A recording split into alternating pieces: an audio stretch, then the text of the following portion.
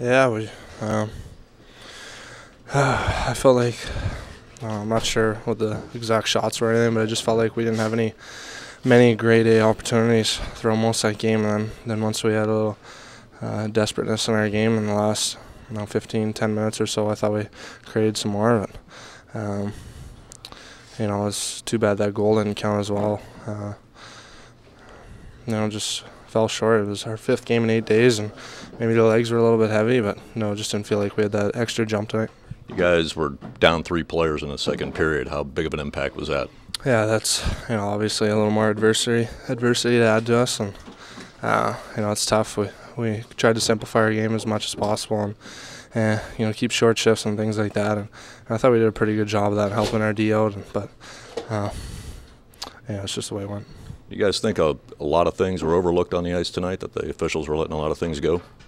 Uh, I, I didn't see some of them.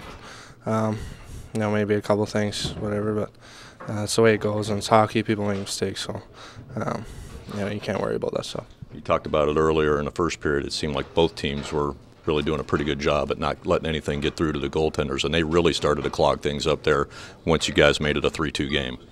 Yeah, I, I felt like well, we couldn't create very much at all in the offensive zone, and um, you know, credit to them, they did a good job. Their, their goalie played well as well, I thought, and but um, yeah, we just couldn't find a way to, to get any on them and get some momentum earlier in the game, and uh, you know hurt us in the long run.